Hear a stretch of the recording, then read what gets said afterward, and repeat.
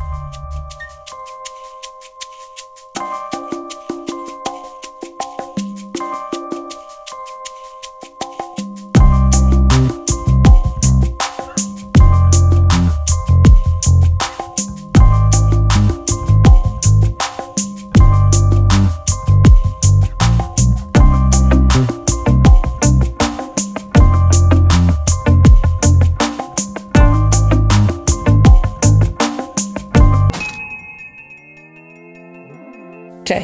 Mamy drugi dzień projektu Halloween. A to oznacza, że jesteśmy o jeden dzień bliżej do Halloween.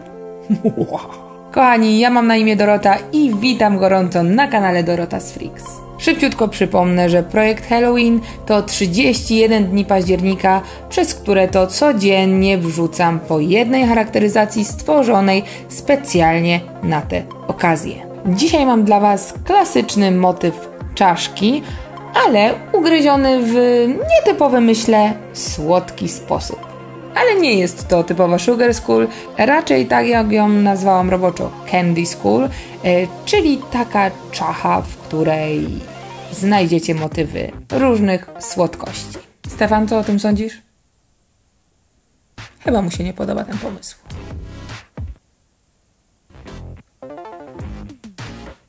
Mam nadzieję, że Wam się spodoba. Oczywiście dajcie mi znać, co sądzicie. I przypominam Wam też, że codziennie możecie dzielić się ze mną swoimi charakteryzacjami, wrzucając je w komentarzu pod postem na Facebooku Dorota's Freaks. Najlepsze prace bardzo chcę jakoś wyróżnić, dlatego będę je pokazywać na bieżąco tutaj w filmikach. A dzisiaj wielkie brawa dla tej pracy.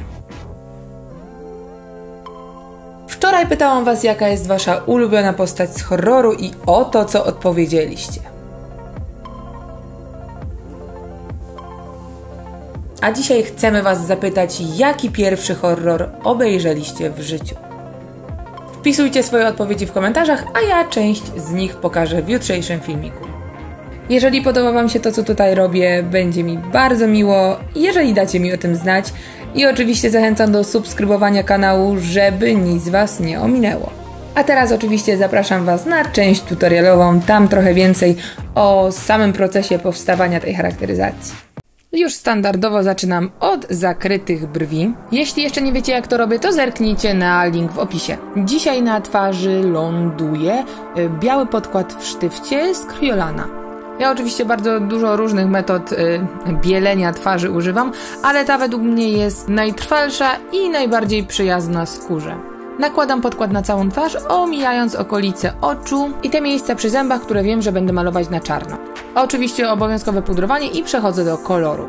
Najpierw wzięłam pojedynczy cień z Nyxa w kolorze różowym, i teraz wszystkie kolory, jakie będę brała po kolei, e, nakładam w niektóre tylko miejsca i nie ma tu jakiegoś konkretnego wzoru, po prostu patrzę i nakładam e, kolejne kolory w ten sposób, żeby ładnie się uzupełniały i przenikały. Teraz biorę żółty, a potem będzie jeszcze niebieski.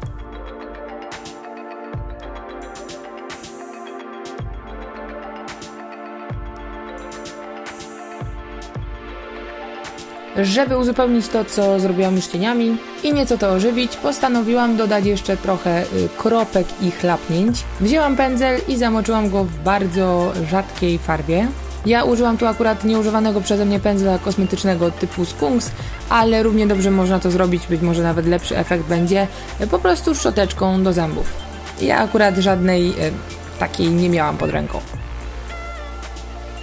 No i przechodzę do malowania kolorowych zębów. Tu oczywiście w ruch idą farby wodne y, i często pytacie mnie, jakich pędzli do malowania takimi farbami używam. Najogólniej mówiąc, y, doskonale nadają się tutaj y, pędzle syntetyczne ze sklepów dla plastyków. Albo oczywiście mogą być specjalnie do tego, czyli do malowania farbami wodnymi do twarzy przeznaczone pędzle.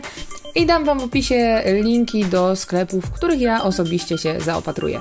Przy okazji malowania zębów maluję też kolorowe kropy landryny pod okiem.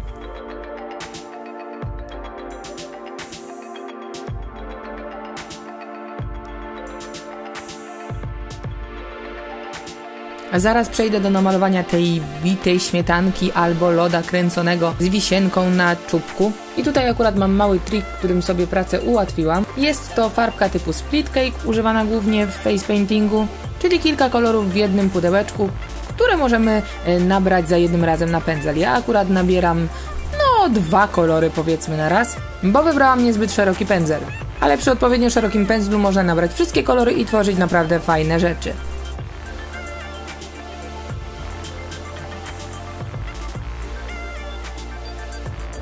Na zęby nakładam nieco białej kremowej farby, żeby troszeczkę same końcówki rozjaśnić. To samo z cukiereczkami pod okiem i przechodzę do oczodołów. I biorę kredkę, a właściwie cień w sztywcie z Golden Rose.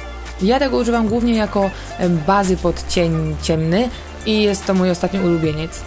Obrysowuję cały oczodół, e, trochę więcej nakładam w zewnętrznym kąciku, jeśli mogę tak to nazwać, i rozcieram do wewnętrznego kącika, a w tej wewnętrznej części właśnie, gdzie jest mniej tego czarnego, nakładam różowy cień.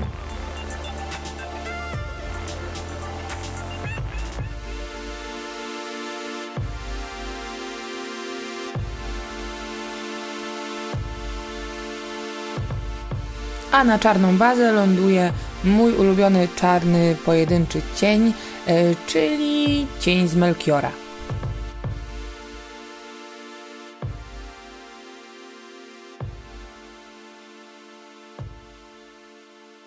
Ten sam produkt posłuży mi do konturowania i podkreślenia wszystkich cieni. Teraz przechodzę do outline'u, czyli obrysowywania wszystkiego po kolei, a ponieważ jest to taki rysunkowy, komiksowy wzór, więc tego konturu będzie tu sporo. Do tego oczywiście używam e, czarnej wodnej farby i cienkiego pędzelka syntetycznego.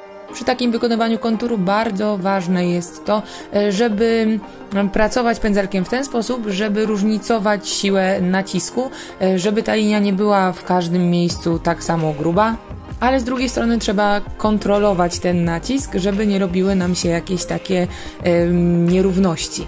Na pewno trzeba dojść do wprawy, ale zachęcam, żebyście próbowali, bo można uzyskać naprawdę fajne efekty.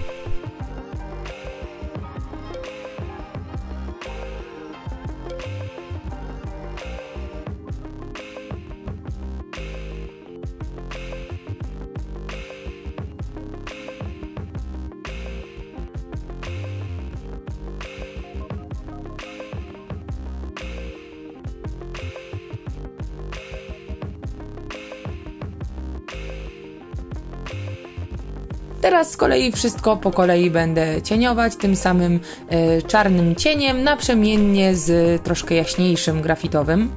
Tam, gdzie chcę uzyskać e, troszeczkę subtelniejszy efekt. Tutaj efekt nie ma być taki super trójwymiarowy, ale ma to wszystko troszeczkę tak wychodzić e, z twarzy.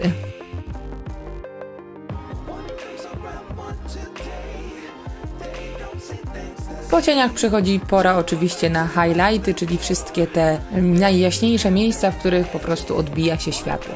Białą farbą jeszcze troszeczkę dodaję kropek gdzie niegdzie, i czas na przypruszenie brokatem, żeby lepiej się trzymał. Spryskuję te miejsca, w których chcę, żeby właśnie się przykleił mgiełką fiksującą. Byle nie za dużo jej i niezbyt bliskiej odległości, bo jest ryzyko, że coś tam się rozpuści. A teraz już e, malowanie dekoltu. Na dekolcie wymyśliłam sobie taki spływający lukier, czy też polewę, w dwóch smakach oczywiście, z posypką. I to właśnie tutaj maluję. Tu nie ma dużej filozofii, po prostu maluję to, co sobie wyobraziłam. E, jeżeli macie jakieś wątpliwości, jak to powinno wyglądać, to możecie sobie e, znaleźć zdjęcie na przykład jakiejś ilustracji przedstawiającej właśnie to, co chcecie namalować, w tym przypadku spływającą polewę. I tak jak w poprzedniej części, e, po prostu dodaję cienie, dodaję highlighty, na koniec jeszcze sypnę brokatem i będzie gotowe. Zbliżamy się do końca. Ja oczywiście bardzo, bardzo, bardzo Wam dziękuję, że byliście ze mną drugiego już dnia projektu Halloween. Bądźcie ze mną jutro i pojutrze i we wszystkie kolejne dni. I ja będę dawać z siebie wszystko, żeby było ciekawie i różnorodnie. A więc buźka i do zobaczenia.